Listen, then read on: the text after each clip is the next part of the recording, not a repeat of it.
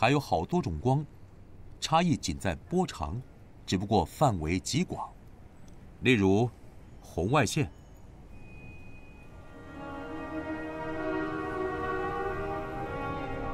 赫歇尔发现的光，或是 X 射线、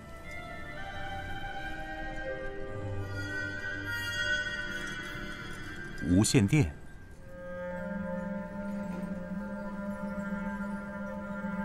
伽马射线，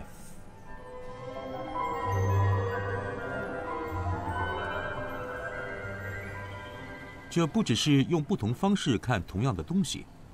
这些不同种类的光揭露了宇宙中不同的物体和现象。例如，唯有透过伽马射线，我们才可看见遥远星系的神秘爆炸，否则我们就错过了。而透过微波，我们可以一路回到起点，看见宇宙的诞生。